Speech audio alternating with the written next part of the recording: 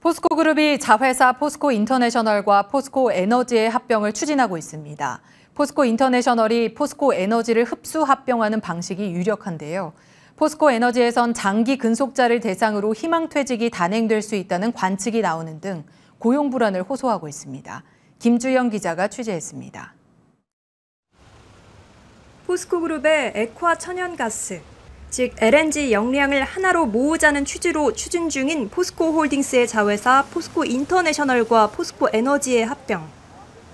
합병은 상장사인 포스코 인터내셔널이 비상장사인 포스코 에너지를 흡수하는 방식이 유력합니다. 현재 회계법인에서 두 회사의 적정 합병 비율을 도출하기 위한 작업을 본격화하고 있습니다.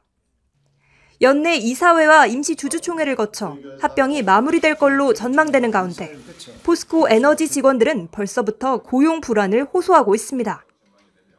원칙적으로 인수합병 과정에서 근로자들의 근로관계는 인수기업에 포괄적으로 승계됩니다. 합병 후 존속한 회사 또는 합병으로 인해서 설립되는 회사는 합병으로 인해서 소멸된 회사의 권리 의무를 승계한다고 규정하고 있습니다. 따라서 소멸회사 소속 근로자의 근로관계는 어, 새롭게 신설된 회사 또는 존속된 회사에 포괄적으로 승계되게 됩니다. 하지만 포스코에너지 내부에선 LNG 터미널과 발전소 장기 근속자를 대상으로 희망 퇴직이 단행될 수 있다는 관측이 제기되는 등 불안감이 거치지 않고 있습니다.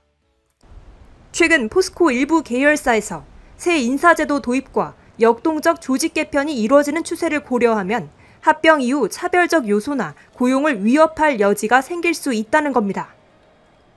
인사 입장에서는 거기에 장기 근속자들이 많고 퇴직금이나 이런 문제가 너무 크다. 뭐 이런 게 문제가 많다. 이러면은 안 받고 싶을 거잖아요. 조직을 막 바꾸고 네. 아 이렇게 할 수도 있거든요. 그러면서 이거를 전혀 다른 조직으로 탈바꿈해가지고 한다면은 그거는 딱 보장됐다고 보기도 어려우니까. 포스코홀딩스는 합병은 내부적 검토 단계로 이사회에서 공식 결정이 되면 합병과 관련한 세부 사항을 공개하겠다는 입장입니다. 이사회 결의가 이루어지면 합병 비율에 대한 주주들의 이해득실 파악과 함께 피인수기업 직원들에 대한 고용보장 논의가 급물살을 탈 것으로 보입니다. 머니투데이 방송 김주영입니다.